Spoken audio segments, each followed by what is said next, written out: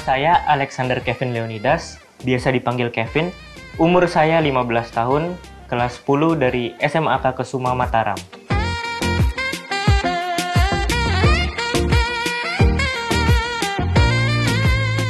Yang memperkenalkan dunia musik ke saya itu adalah ayah saya. Awalnya waktu usia 5 tahun, saya belajar bermain piano. Lalu di usia 12 tahun, saya mulai tertarik dengan alat musik saksofon. Dulu belajarnya itu otodidak sih dari YouTube. Ceritanya, waktu bencana gempa di Lombok saat itu, saya libur sekolah lumayan panjang. Nah, untuk mengisi kekosongan, saya nonton dan dengerin instrumen saksofon di YouTube dan ngerasa, wah kayaknya unik nih untuk dipelajari. Dan kebetulan di Lombok, Nusa Tenggara Barat, Waktu itu setahu saya belum ada pemain saksofon yang terkenal, karena itu saya pengen jadi yang pertama.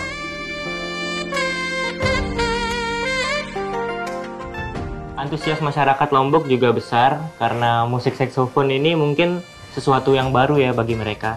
Itu menjadi panggung pertama saya dengan saksofon di usia 12 tahun.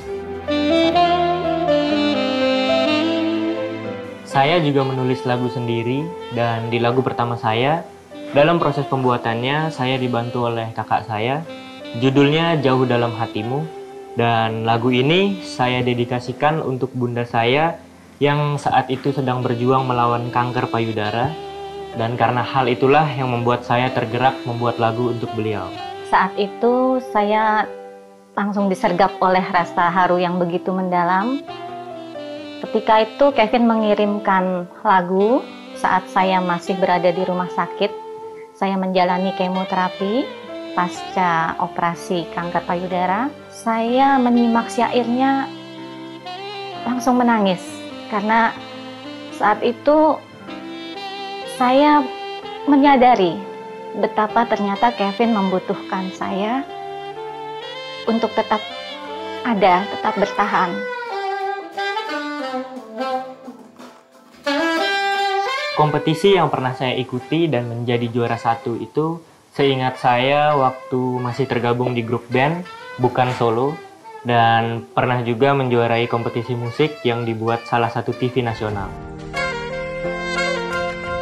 Saya tahu bintang SMA ini awalnya dari sosial media, terus orang tua dan pihak sekolah menyarankan saya untuk ikut, dan saya juga melihat bintang SMA ini bisa jadi kesempatan jalan atau pintu untuk karya saya agar bisa didengar orang lebih banyak lagi.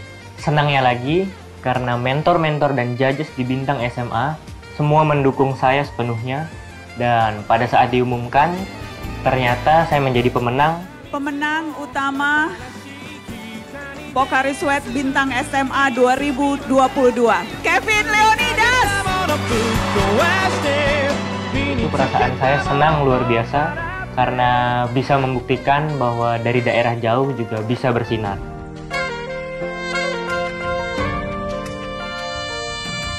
Impian saya sebenarnya bisa mengenalkan permainan saksofon dengan sentuhan musik etnis dari Nusa Tenggara Barat biar seluruh dunia tahu. Karena lewat karya itu, orang bisa tahu apa yang menjadi identitas kita.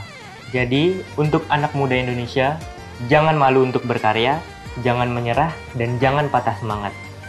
Nggak ada kata menang dan kalah, tapi menang dan belajar lagi.